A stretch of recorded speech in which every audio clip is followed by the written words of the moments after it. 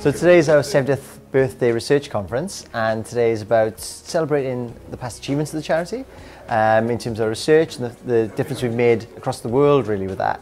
Um, but also about highlighting all the things that we do today. So we fund PhD studentships, uh, we fund a thing called the Innovation Grants which are about developing new services and interventions for people affected by cancer.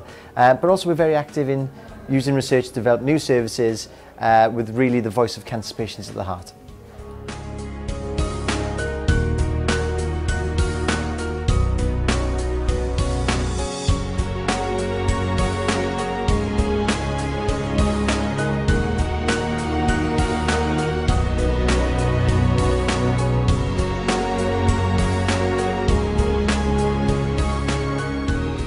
Hello, I'm Vivienne Parry. I'm a writer and broadcaster, and I'm hosting today's event. I'm passionate about communicating science to everybody, and I think people sometimes have a misunderstanding of what research is and what it does. But events like these bring together researchers and ordinary people, and it helps both the researchers and the people that they're talking to because researchers need to be able to communicate clearly and well. And it's a great opportunity for everybody. So I think days like these are fantastic.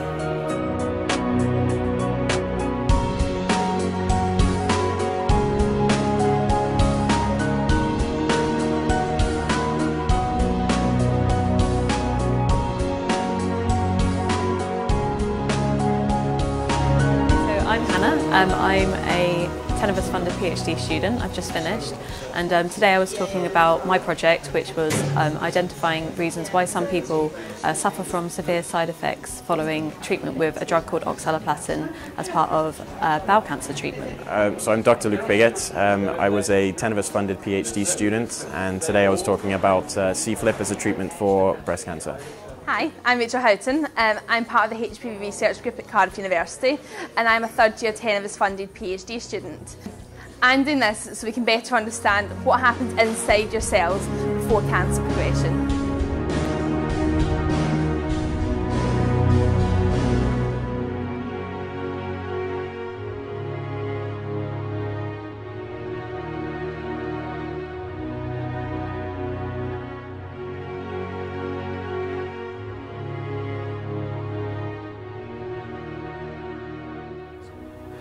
Well, I dug up uh, for uh, today's talk um, a paper from the New England Journal of Medicine from 1943. I couldn't believe it because I'd been asked to talk about um, the next 70 years, but uh, obviously I had to start by looking back.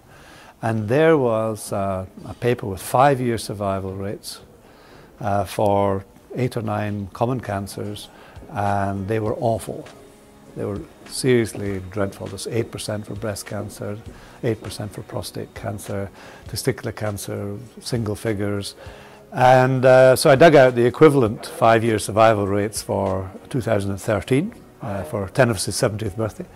And they were spectacularly better. The 60, 70% for prostate and 80% for breast cancer.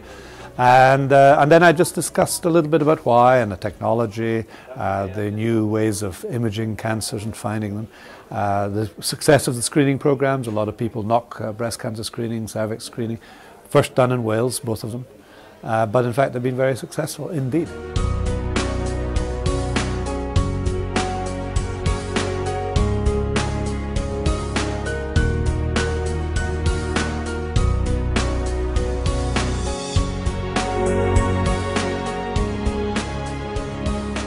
So one of the great things about the conference today is that we've had the opportunity to bring together um, people from all walks of life and all types of experience of cancer, from clinicians who work on the front line every day through to patients and carers and families who have to live with the burden of the disease.